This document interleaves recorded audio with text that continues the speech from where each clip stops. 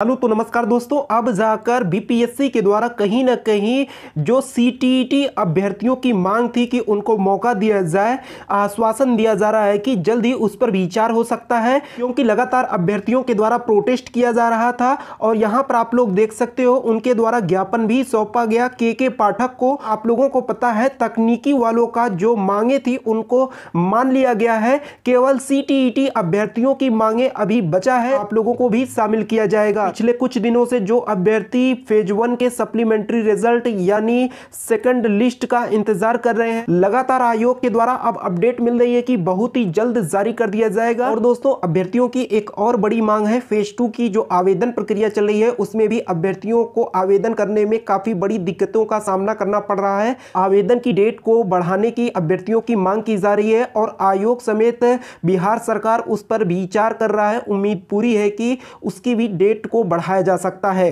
तो दोस्तों, एक मांग नहीं, कई मांगे हैं। कुछ को तो बिहार सरकार आयोग के द्वारा माना जा चुका है। कुछ मांगों को अभी आश्वासन दिया जा रहा है। जैसे इसके रिगार्डिंग कोई नई अपडेट आएगी, डेफिनेटली इन्फॉर्म कर दिया जाएगा। वीडियो को लाइक नहीं किया तो लाइक कीजिएगा। और चैनल पर नहीं तो सब्सक्राइब कर लीजिएगा, जिससे आप लोगों को हर एक इन्फॉर्मेशन मिलती रहे।